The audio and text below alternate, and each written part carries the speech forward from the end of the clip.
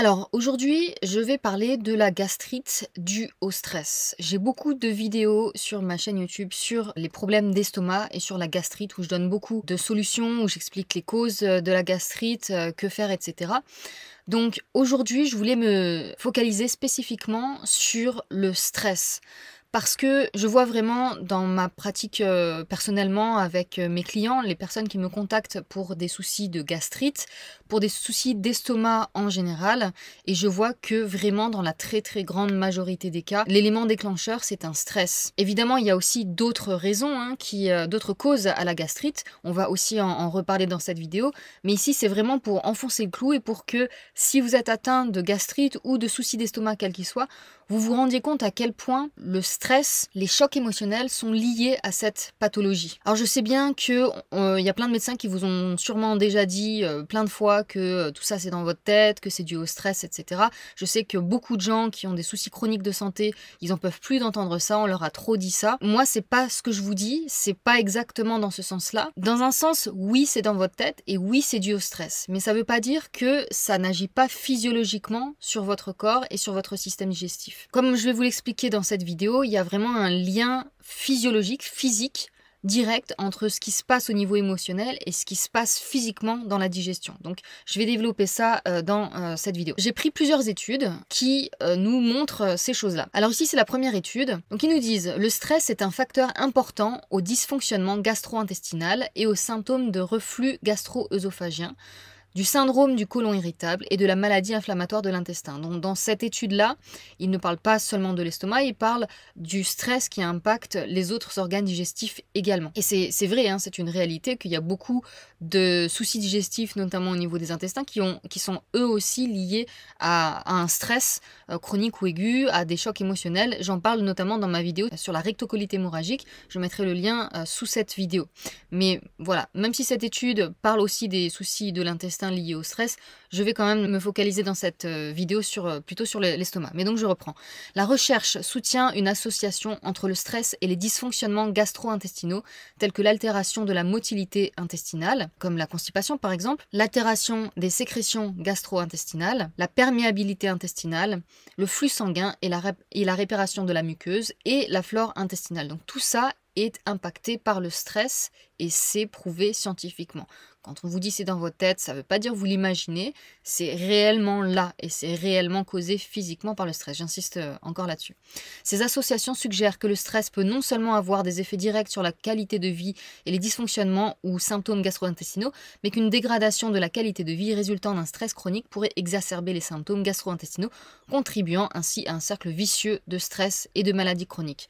Le stress entraîne les symptômes de maladie et la maladie entraîne un stress et ça entraîne un cercle vicieux. Le stress perçu dans notre échantillon était plus élevé que celui rapporté par 84% de la population. Ces personnes-là faisaient partie du pourcentage le plus stressé de la population. Donc ça veut dire que si vous êtes atteint de gastrite ou de problèmes euh, digestifs quels qu'ils soient, il y a des chances que vous fassiez partie de ce petit pourcentage de 16% de la population qui euh, est tellement stressé que ça lui cause des soucis digestifs. Il a déjà été rapporté qu'une mauvaise qualité de vie liée à la santé émotionnelle et physique est associée à une réponse moins efficace aux inhibiteurs de la pompe à protons.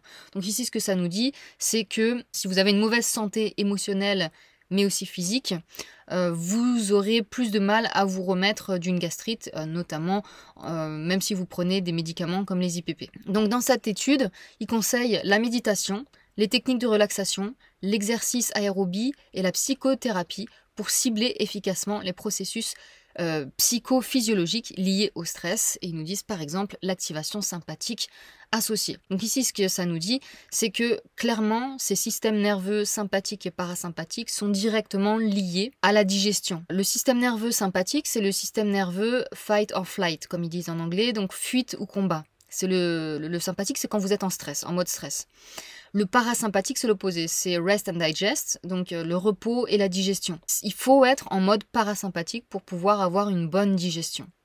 Donc voilà, ici ce qu'ils nous disent, c'est que toutes ces activités qu'ils nous conseillent, la méditation, etc., euh, ça permet de passer du sympathique au parasympathique.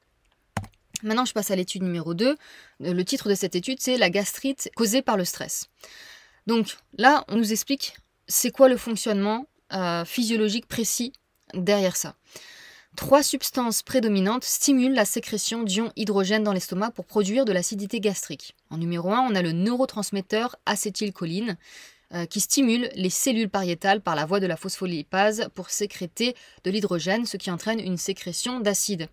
La source de l'acétylcholine provient du nerf vague. On vient d'en parler. Euh, le, système nerveux sympathique, parasympathique. Le nerf vague, c'est euh, principalement lié au, niveau, au système nerveux parasympathique.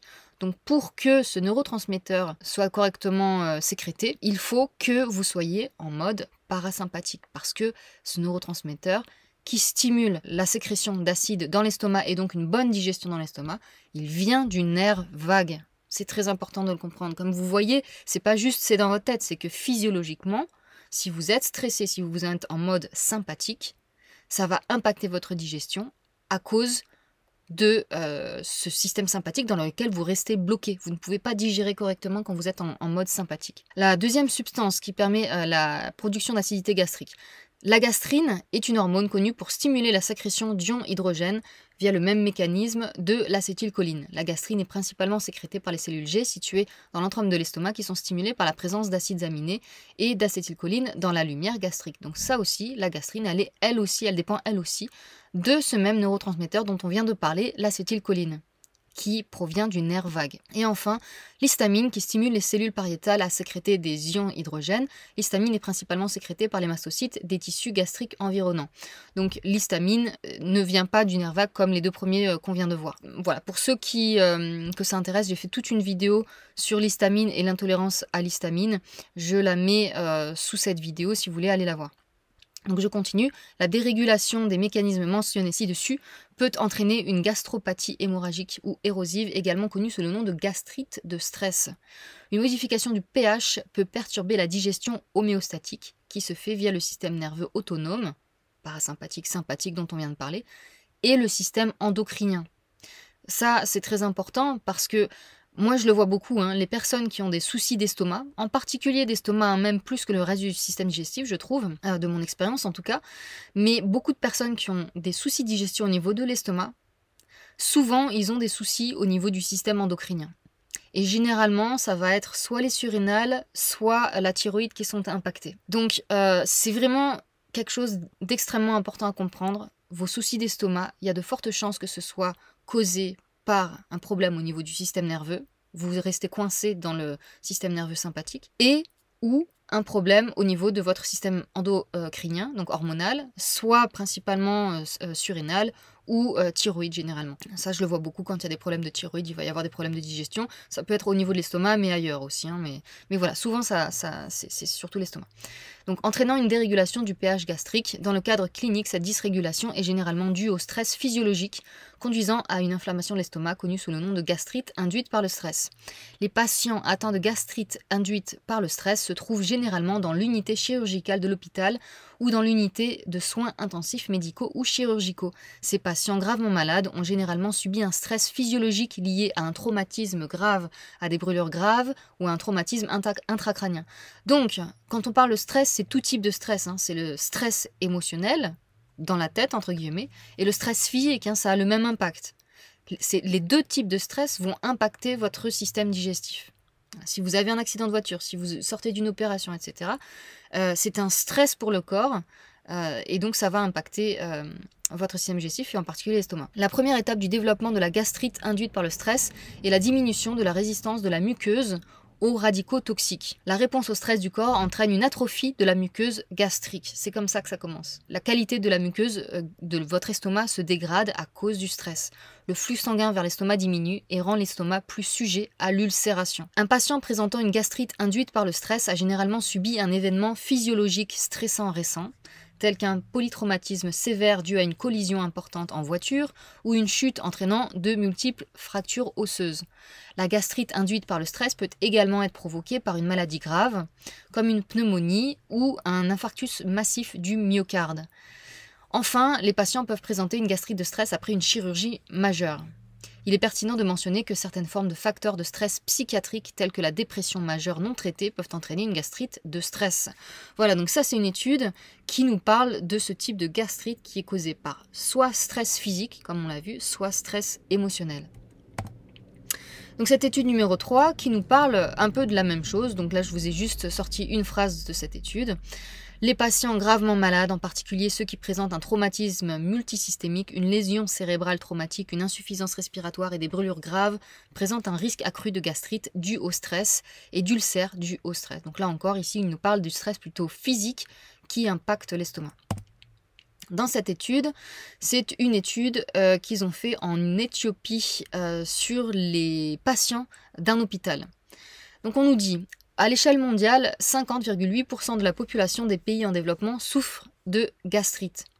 34,7% de la population des pays développés ont des problèmes de santé dus à la gastrite. Donc dans les pays euh, sous-développés, ils ont encore plus de problèmes que chez nous au niveau des problèmes gastriques. En général, la gastrite est plus élevée chez les hommes que chez les femmes. Cependant, une étude menée au Brésil a montré que 67,8% des femmes et 32,2% des hommes souffraient de gastrite chronique. Une revue systématique des pays africains indiquait que 38% des femmes et 18% des hommes souffraient de gastrite. Donc il n'y a pas vraiment de règle au final.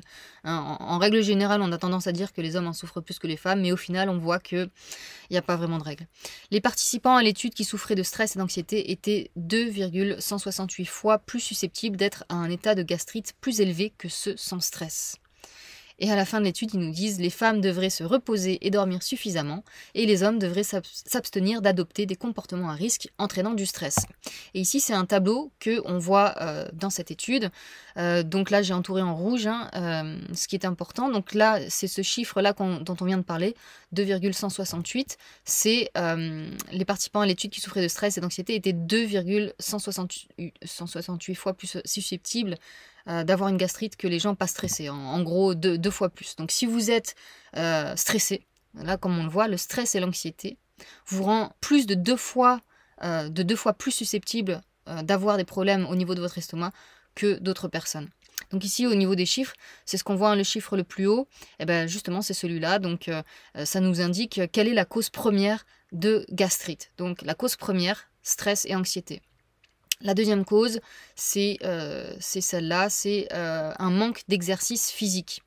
Et je pense que les deux se rejoignent, hein, parce que faire de l'exercice physique, ça permet de... On a de la dopamine, on a de l'endorphine, on a des hormones du, bonheur, euh, on a des, hormones de la récompense, et ça permet aussi d'évacuer le stress, d'évacuer l'anxiété, d'évacuer les, les, tensions dans le corps, en fait. Donc je pense que les deux se rejoignent. Ensuite, on a le fait de manger des aliments très épicés qui arrive du coup euh, en troisième position. Ensuite, on a euh, le fait de prendre des médicaments, on va en reparler, euh, qui arrive en quatrième position. Des substances, alors des substances, c'est des, drogues. Donc dans cette étude, c'est une étude qu'ils ont fait dans un ciblée sur des étudiants dans un collège d'agriculture en Afrique. Le problème d'anxiété-stress le café, le thé et l'utilisation fréquente de médicaments anti-inflammatoires tels que l'aspirine, l'ibuprofène, etc. avaient une association statistiquement significative avec la gastrite. Voilà, donc il n'y a pas que, le stress et l'anxiété, comme on vient de le voir, c'est très important, mais il y a aussi le café, ça c'est connu. Hein. Beaucoup, de gens, quand ils boivent du café, ça leur fait des brûlures d'estomac. Le thé, c'est moins riche euh, que le café en caféine, mais il y a quand même de la caféine. Moi personnellement, je déconseille les deux hein, euh, pour euh, quelques soucis de, de santé au niveau digestif que vous ayez, je déconseille et le café et le thé. Les médicaments anti-inflammatoires, ibuprofène, aspirine, euh, dafalgan, etc. Euh, tout ça, c'est aussi connu. Ça abîme très fortement l'estomac et aussi le foie. Dans cette étude ici, euh, donc c'est encore une étude qui cible des étudiants euh, d'une université en Malaisie et on nous dit la fréquence de la consommation d'aliments épicés était la plus élevée de tous les autres facteurs relatifs aux habitudes alimentaires dans le cadre de cette étude, suivi de la consommation d'agrumes, les repas sautés et le stress saisonnier. Donc en fait, euh, alors déjà on va voir que selon les pays qu'ils étudient euh, au niveau de l'alimentation, donc voilà, en Asie, en Afrique, ils mangent beaucoup plus épicé que nous en Occident, donc c'est pour ça qu'on a, on a ça qui ressort pas mal dans les études où ça se passe en Afrique et en Asie. Les repas sautés, le fait de, sauter des repas, de pas être régulier dans la prise de repas, ça peut causer des problèmes d'estomac, et le stress saisonnier. Et donc, il nous dit, cette étude démontre que l'incidence de la gastrite chez les personnes interrogées est saisonnière, en particulier pendant les examens. Voilà, donc euh, si vous êtes étudiant ou même dans votre vie quand vous passez des examens, euh, très stressant, c'est à ce moment-là que vous êtes le plus susceptible de développer une gastrite si vous avez le terrain pour. Et enfin, la dernière étude euh, qui nous dit, donc là, c'est une étude qui a été faite en Arabie Saoudite. Les résultats de l'étude ont révélé une association significative entre le stress psychologique et la gastrite, puisque 69,3% des patients souffrant de stress psychologique avaient une gastrite, tandis que 62,6% des patients sans stress psychologique n'avaient pas de gastrite. Les résultats confirment les conclusions d'autres études selon lesquelles le stress psychologique augmente l'incidence de la gastrite et de l'ulcère gastro-duodénal, car il favorise d'autres comportements à risque. Alors ça, je ne sais pas exactement ce qu'ils veulent dire par là, puisqu'ils ne l'ont pas détaillé, mais peut-être que euh, le stress psychologique euh, quand ils disent qu'ils favorisent d'autres comportements à risque, c'est peut-être de, euh, boire de l'alcool ou de fumer des cigarettes. mais ça, je sais pas, c'est une supposition parce qu'ils l'ont pas précisé dans l'étude. En outre, l'étude a révélé une association significative entre euh, les médicaments anti-inflammatoires et la gastrite. 66,5% des patients qui prenaient fréquemment des anti-inflammatoires souffraient de gastrite. Ça, on vient de le dire, les anti-inflammatoires, ça fait vraiment partie des premières causes de gastrite. L'étude a révélé que 66,7% des fumeurs souffraient de gastrite, ça aussi, hein, c'est très important, tandis que 33,3% d'entre eux n'en souffraient pas. C'est quand même une grande majorité de fumeurs qui euh, développent des problèmes de gastrite. Cela pourrait s'expliquer par le fait que le tabagisme réduit la synthèse de la prostaglandine dans la muqueuse gastrique et diminue la fonction de barrière de la muqueuse gastrique. Voilà, la prostaglandine, c'est ce qui permet de freiner les sécrétions euh, acides euh, dans l'estomac. Ces résultats coïncident avec ceux d'une étude qui a montré qu'un risque accru de gastrite atrophique sévère et de métaplasie intestinale était statistiquement associé au tabagisme. Et ici aussi dans cette étude, on a un tableau qui nous dit, euh, enfin qui nous montre les causes premières de gastrite. La première cause, c'est l'infection à Helicobacter pylori. Alors ça, j'ai toute une vidéo sur ce, sujet, je vous la mettrai en lien sous cette vidéo, donc je ne vais pas m'attarder là-dessus euh, aujourd'hui. Et juste après, cause numéro 1, juste après Helicobacter, c'est le stress euh, psychologique. Le stress psychologique. Vous voyez, c'est pas, euh, pas des paroles en l'air hein, quand on vous dit que le stress peut causer votre gastrite. Hein. C'est dans les études, c'est prouvé, c'est prouvé et encore prouvé et encore prouvé et encore prouvé dans des tas d'études. En numéro 3, c'est la prise de médicaments anti-inflammatoires. Le fait de boire euh, des sodas, le fait d'avoir euh, des personnes dans votre famille qui souffrent de gastrite, bah forcément, hein, euh, s'il y a une tendance héréditaire dans la famille, vous allez plus avoir tendance à développer un souci au niveau de votre estomac que ailleurs, par exemple. le fait de manger des fruits de manière irrégulière, le fait de boire du thé ou du café de manière régulière, le fait de boire des euh, boissons énergisantes de, manière régulière, le fait de fumer. Euh, voilà, ce sont les principales euh, raisons dans l'ordre d'importance. Voilà, c'est tout pour cette vidéo. Donc, c'est prouvé, c'est ce que je voulais vous montrer dans cette vidéo, que la gastrite, les problèmes d'estomac, la cause numéro un, ou vraiment l'une des premières causes, et moi, encore une fois, c'est quelque chose que je vois quasiment tous les jours quand je reçois des clients en consultation. Les problèmes d'estomac démarrent généralement après un gros stress émotionnel ou physique. Après un accident de voiture, comme on l'a vu, ça, ça m'est arrivé, j'ai un client chez qui ça est arrivé. Euh, après euh, un divorce, après la mort d'un proche, etc., euh, etc. Donc stress psychologique, stress physique. J'espère que cette vidéo vous a apporté quelques éléments supplémentaires. N'hésitez pas à partager votre expérience dans les commentaires sous cette vidéo. N'hésitez pas à mettre un petit like si cette vidéo vous a plu et à vous abonner. Et je vous vois dans la prochaine vidéo. A bientôt, salut